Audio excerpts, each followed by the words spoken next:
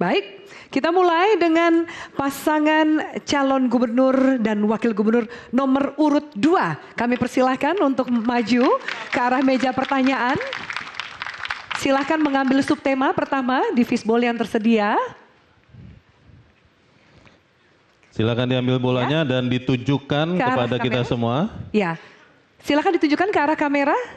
Di situ saja E. Pak, hurufnya ditunjukkan. Hurufnya adalah E. Huruf E, Baik. subtema kebijakan dan good governance. Mhm, Silakan Dipersilakan dipilih mengambil dari amplop. empat pertanyaan ini.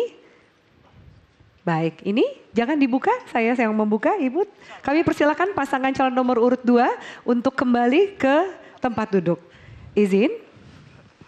Bola, saya masukkan kembali. Ya, Masih tersegel? masih tersegel, masih rahasia.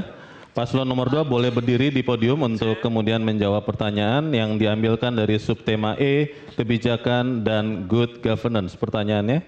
Pertanyaannya, baik. Harap disimak, moderator akan satu kali membacakan pertanyaan. Berdasarkan data dari Kementerian Energi dan Sumber Daya Mineral bahwa lahan bekas tambang nikel dan emas mendominasi kerusakan lingkungan. Seperti yang terjadi di Kabupaten Morowali dan sekitarnya, di mana aktivitas tambang nikel secara signifikan berdampak pada kerusakan lingkungan termasuk hutan dan sungai. Pertanyaannya, kebijakan apa yang Anda tempuh dalam mengelola kolaborasi antar lembaga untuk pemulihan kerusakan lingkungan pasca eksploitasi tambang? Ya. Waktu Anda untuk menjawab dua menit dimulai ketika paslon nomor dua berbicara. Silakan. Ya, terima kasih.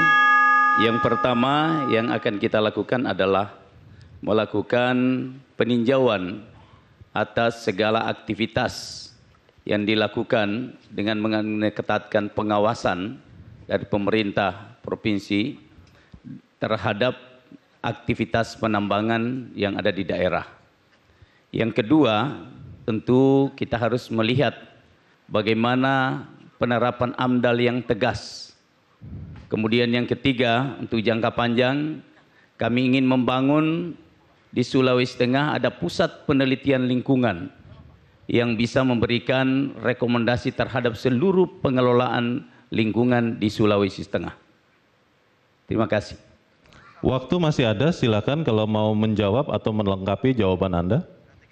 Ya, kami tambahkan sedikit bahwa dalam kaitannya dengan eh, kerusakan lingkungan dalam pengelolaan lingkungan yang tidak sesuai dengan best practice mining yang dilakukan oleh para aktivitas pertambangan, yang paling penting adalah bagaimana penerapan sanksi yang tegas kepada mereka yang melakukan aktivitas pertambangan yang tidak sesuai dengan kaidah-kaidah pertambangan, sesuai dengan ketentuan peraturan perundang-undangan yang berlaku. Dengan melibatkan seluruh stakeholder, para LSM kita libatkan. Kemudian yang kedua, kita aktifkan forum komunikasi pimpinan daerah untuk terus berkoordinasi atas penegakan-penegakan aturan terhadap setiap kerusakan lingkungan yang timbul akibat dari pengelolaan lingkungan yang serampangan. Terima kasih. Sudah cukup? Cukup. Dirasa cukup? Baik, terima kasih. Kami persilakan untuk duduk kembali. Jelajahi cara baru mendapatkan informasi. Download Metro TV Extend sekarang.